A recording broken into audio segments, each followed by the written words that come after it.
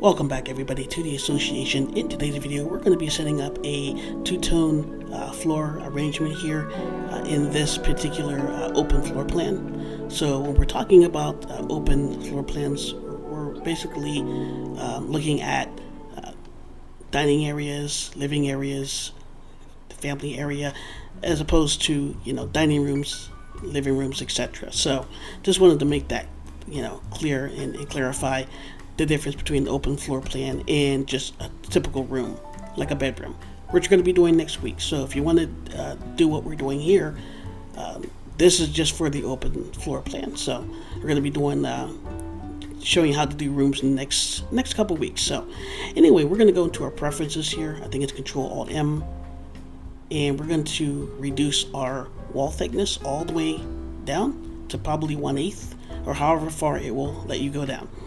The wall height doesn't really matter, but the the, the wall thickness we want to reduce that uh, is is all way as thin as possible. Okay, and then we're going to uh, uncheck the uh, floor box there.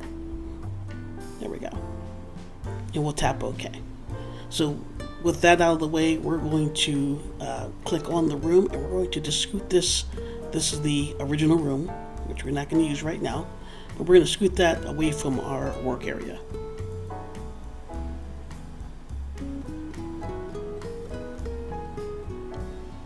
All right, now with that out of the way, we can continue. So with with our project, we want to have we have two room two areas here: the the traffic area, the walkways, and then the living room or living area and dining area. So those are the two, you know, floors they're going to be treated here because that's that's what's here. Okay, so anyway, let's begin. Let's draw walls, and just you know, just to clarify here, you don't have to have these walls here. Okay, you don't have to have these walls to do this. That was just there originally, and we're going to work around those walls. You don't have to have those there. Let's go ahead and finish the walls here, and we'll move on to the next step. Okay, so with that done, we're going to click on the room, just like you're creating a room.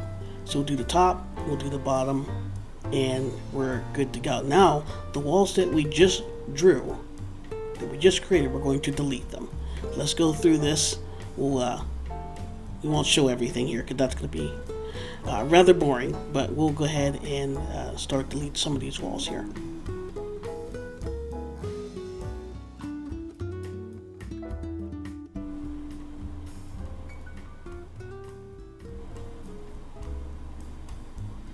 Alright, so the next step we want to do is we want to click on one of the rooms, either the upper one or the, the lower, and you want to seat it to the other room. So you're just going to take the point just like that, and you're looking for a dot if possible.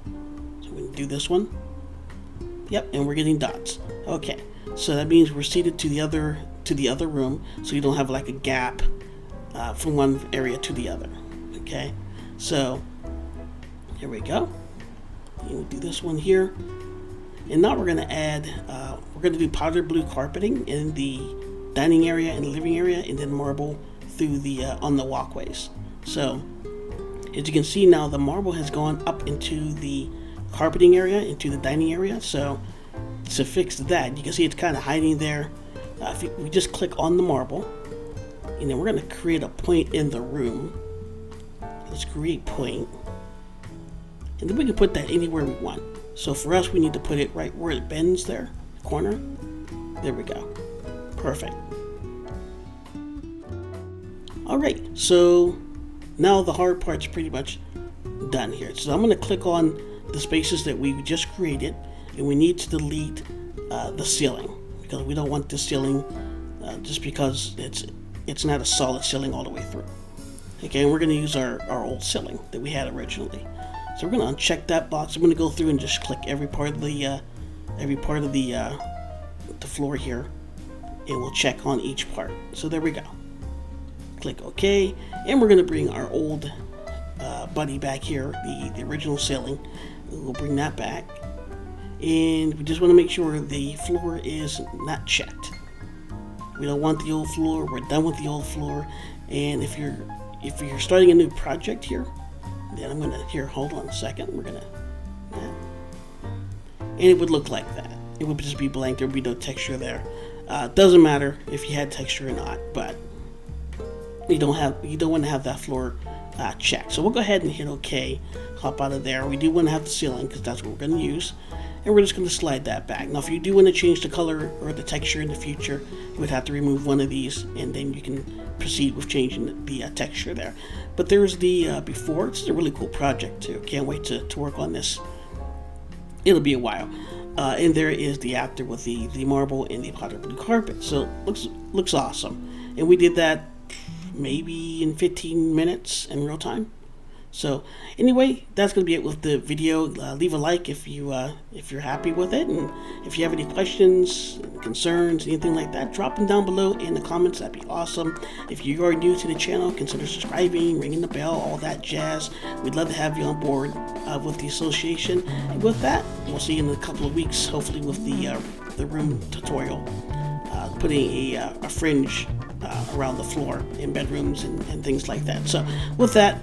See you in the next one. Signing off for now. Goodbye, everybody.